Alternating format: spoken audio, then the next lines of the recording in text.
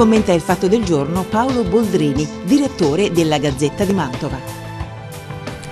Oggi ho scelto di parlarvi della caduta del muro di Berlino.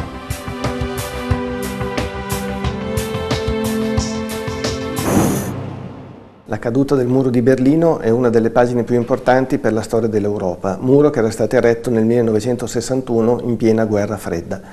La caduta del muro significa anche la fine della contrapposizione tra i blocchi atlantico e il blocco sovietico nato dalla fine della seconda guerra mondiale. È una giornata di grande festa per l'Europa, per la Germania e non solo. Di lì a un anno la Germania si riunificherà e non ci sarà più la contrapposizione tra est e ovest.